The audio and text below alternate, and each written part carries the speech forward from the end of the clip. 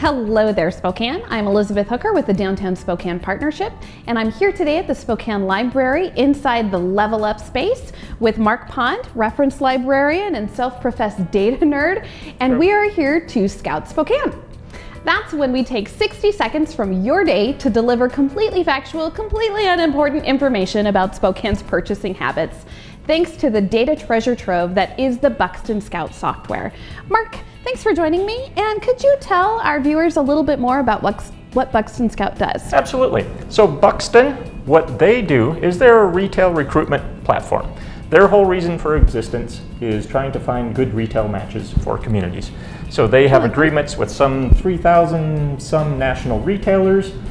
They also have agreements with credit card processors. Then they sit in the middle and watch the data flow back and forth. Oh. So they oh. have household level data on our spending habits. So they can tell us some pretty interesting things about our purchasing habits right here in Spokane. Indeed, they can. Well, that's awesome. Let's get ready to scout Spokane. So, Mark, it's February, the shortest month of the year. It's jam packed full of lots of activity. I'm sure there's one thing that comes to mind when you think of February. And if you're me, it is the most romantic thing you can think of Laundry. doing laundry.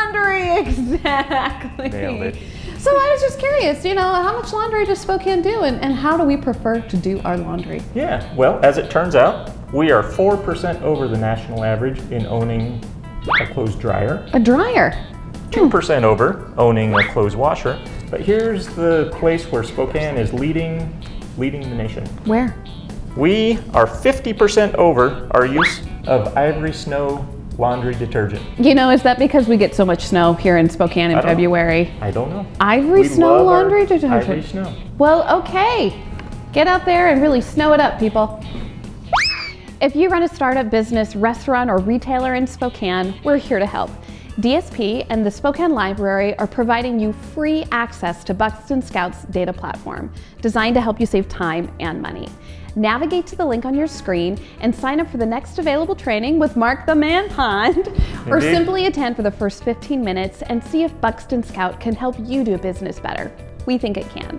Until next time when we Scout Spokane, thanks for watching.